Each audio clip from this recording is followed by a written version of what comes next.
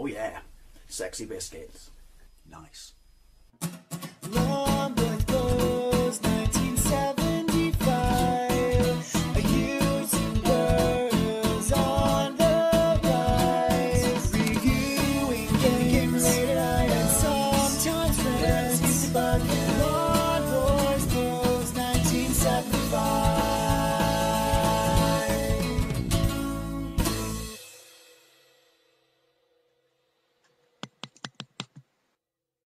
Terra Cresta on the Sinclair ZX Spectrum, released by Imagine, or basically Ocean, in 1986. Also released on the Commodore 64 and the Amstrad, based on the arcade machine of the same name, released by Nichibutsu in 1985, which is actually a follow-up to Moon Cresta, but a little bit more involved, as it's a proper, proper vertical-based shoot 'em up this time. You still got the element of adding to your craft, but this version on the Spectrum, hang on, is done by the late great legend Spectrum God Joffa Smith. May he rest in peace. You can tell that by the time we get into the game because you see the lives are represented by ducks, much like they were on another one of his games, another classic, Cobra. Now this got so-so reviews, which I'll shut up a minute. It's 48k only, but it's still pretty good music.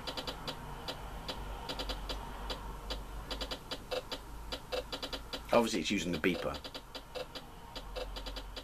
But yeah, it only got so-so reviews. I think I may have loved it because I had a soft spot for the arcade machine I played in that arcade we always went to in Westward Ho. I think it's because, unless my brain has made this up in the subsequent years and I'm now imagining it as a false memory, once you collected all the parts of your craft, couldn't you go one stage further in Phoenix? I don't know. I may be confusing this with Battle of the Planets. But anyway, I loved it in the arcade. I think I could only get like two power-ups and never actually got to the end of the stage. I just did a gameplay of this and I got to the end of the stage without any power-ups because I was shit, but forgot to record it. Oh well, that is epic. You'll have to take my word for it because it's bullet hell, balls hard, and um, yeah, I suck at it. Anyway, five defying keys. Why did they never give us the option to have also far? In these games without having to have a joystick because this is a game where you need it. It turns your right arm, uh, if you're right-handed like me, into Popeye in about 13 seconds. Up, down, left, right, fire, split. Right, keys of champions. Some people go for space. They're wrong. Fire should always be M1 keyboard. Right, so it's it's shrunk the screen into a very small screen because these types of games in the arcades had, you know, monitors that were longer than they were wide. Right, it's monochromic. Oh, you can shoot ground-based objects, items, without having to have like bombs like you do in other games of this type, such as Xevious. You just fly at them and shoot them. Oh, there's a ton of stuff on the screen.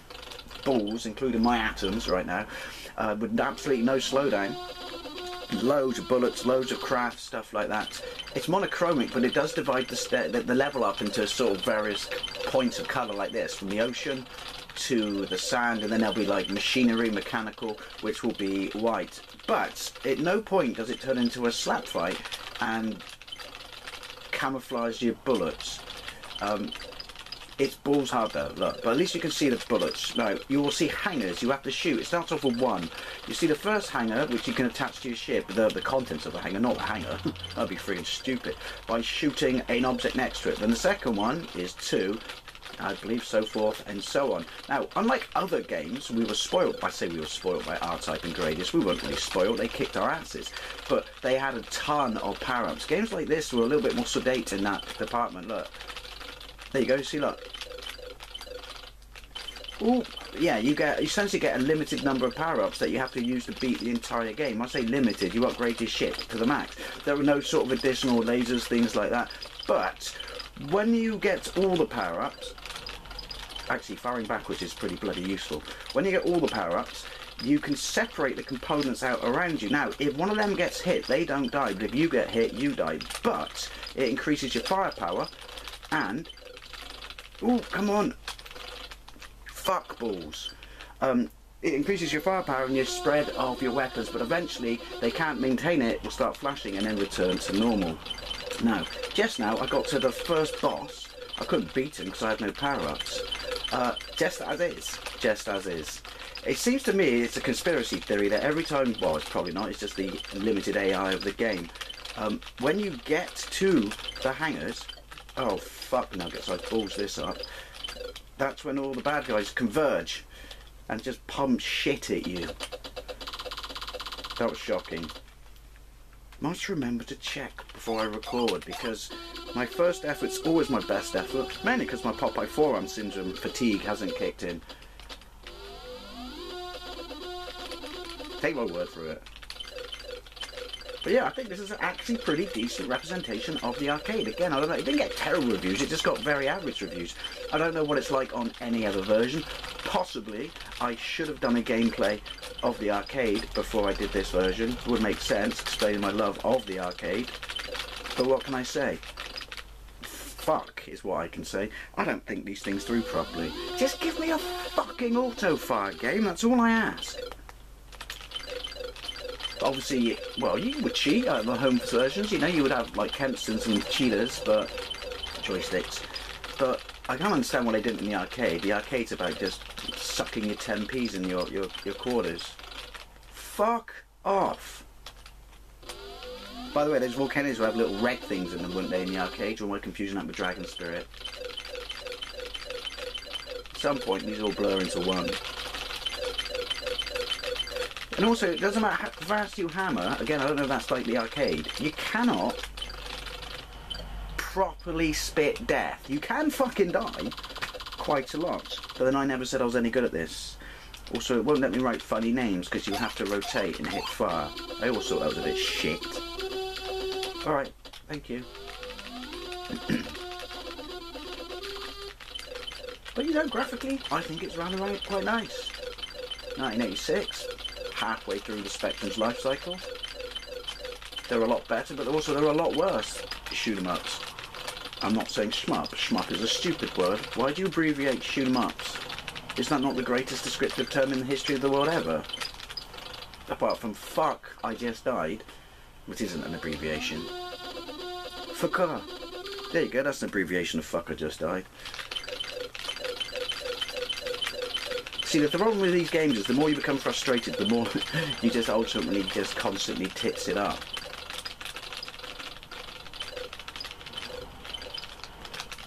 Ooh. And other words to that effect. I like these ones. They don't backtrack on you and come from behind. See what I mean? Now we've got like, you know, a white background to represent machinery, mechanics. Ow, my arm. Ow, my friggin' ears! I'd say points for the quote, but that's an easy one. Now I've got hair in my eye. I'd never make a space pilot. I wonder if you can destroy them. It requires your power-ups. And I don't mean this weedy little one, which is essentially useless, but obviously it is the first one. These are the bastards.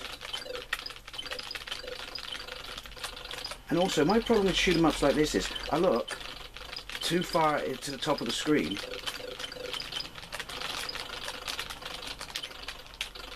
So, oh, come on. Well, that was underwhelming, wasn't it? Too far to the top of the screen. So, um, shit finds my face because I'm concentrating on the background. Typical trope of all that I just lost. See, if you get shot, you lose your power up. You don't die. Obviously, if you've got no power ups, you die. Yeah, typical trope of shoot 'em ups at the time. Terrorists that come out of the water. Everyone was fuck off doing it. Why can't we? How far does it bump me back? Course. Course. Honestly, a turbo, my kingdom for a turbo. And also, if I could properly hammer it as well. There seems to be too many gaps in the spread, not the spread, the consistency of me firing. Give me a fucking chance. One more go, one more go. It's my fault, it's my fault. I should have recorded it the first time. Right.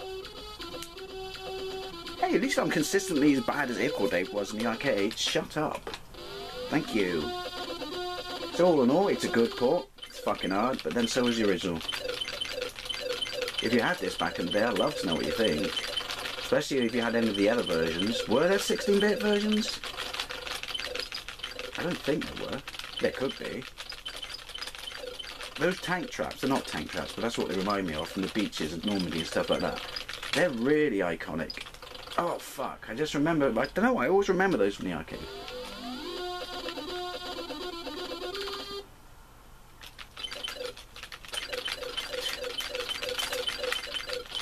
Yeah, get some of that in your life. He says, shortly before he's about to die. If they didn't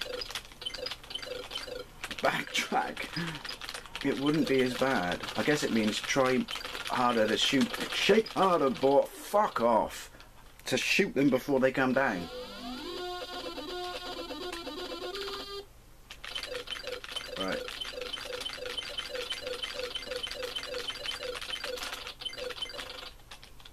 Maybe I should stop firing. And only shoot. There is a little bit of bullet camouflage. Shoot when they're directly in front of me. And obviously don't hang around at the back of the screen. There you go, Terra Cresta on the Sinclair ZX Spectrum. Did get to the end just now, honestly. Um, but yeah, my right arm's knackered. Anyway, it's also love to know what you think, especially you had this back in the day. And have you played the arcade machine? And thank you very much for watching, and I'll see you later.